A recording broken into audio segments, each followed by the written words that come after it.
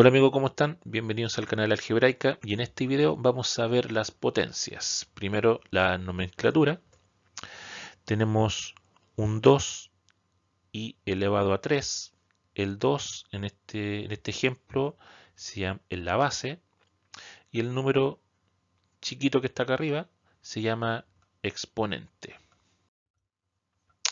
Y elevación a potencia significa que eh, la potencia de un número es eh, ese resultado de tomarlo como factor dos o más veces. Acá tenemos eh, un ejemplo. 2 por 2 es 4 y esto es lo mismo que decir 2 elevado a 2. O sea, cuántas veces se multiplica la base. Dos veces. 2 por 2 es 4 y es lo mismo que decir 2 elevado a 2. Y tenemos otro ejemplo 2 por 2 es 4 y, 2, y 4 por 2 es 8. Y esto es lo mismo que decir que la base se multiplica 3 veces. También tenemos otro ejemplo cuando la base se tiene exponente 0.